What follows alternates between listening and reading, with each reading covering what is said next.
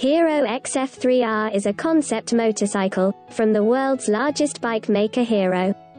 It carries a 300cc, liquid-cooled, and fuel-injected engine. That has undisclosed power values.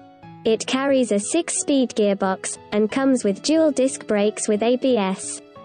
XF3R comes with USD front forks, and carries the best ever design from the company.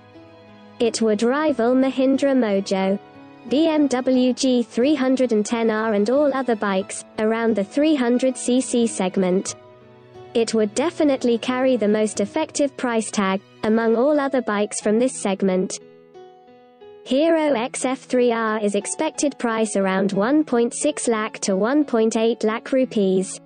And expected launch date in May 2022.